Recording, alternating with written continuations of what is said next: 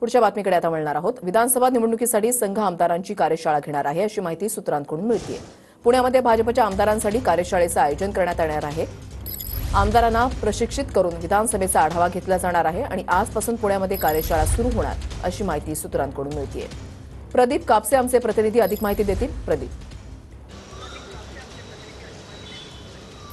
वृषल अगदी बरोबर आहे. खरं तर लोकसभा निवडणुकीमध्ये महायुतीला मोठ्या जागांवरती फटका जो आहे तो सहन करावा लागला. त्यानंतर मात्र विधानसभेची तयारी जी आहे ती महायुतीनं आतापासूनच सुरू केलेली आहे. विशेषतः भाजप आमदारांना आता संघाकडूनच थेट प्रशिक्षण जे आहे ते दिलं जाणार आहे. आज आज पुण्यातल्या राष्ट्रीय स्वयंसेवक संघाच्या मोतीबाग कार्यालयामध्ये पश्चिम प्रांताची बैठक जी आहे ती पार पडणार आहे. दुपारी साडेपाच वाजता पश्चिम प्रांतातील आमदार जे आहेत त्या बैठकीसाठी उपस्थित राहणार आहेत. विधानसभा निवडणुकीच्या दृष्टीनं संघाकडूनच आता आमदारांना थेट प्रशिक्षण आणि मार्गदर्शन जे आहे त्या बैठकीमध्ये केलं जाणार आहे.